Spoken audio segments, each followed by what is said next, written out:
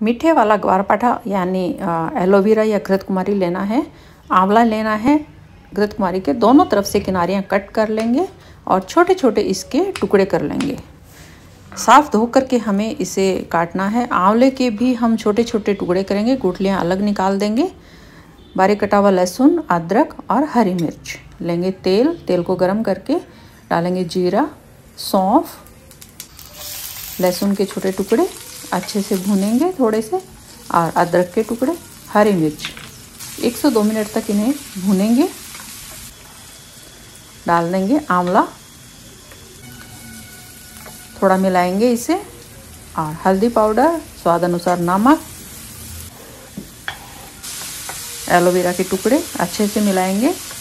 और अब इसे ढक्कन लगा करके पाँच छः मिनट तक धीमी आँच पर हमें इसे पकने देंगे। देखेंगे, मिलाएँगे और डालेंगे इसमें सौंफ का पाउडर। डेढ़ से दो चम्मच इसमें सौंफ का पाउडर मिलाना है। अच्छे से मिलाएँगे और दो मिनट ढक्कन लगा करके धीमी आँच पर और पकने देंगे इसे।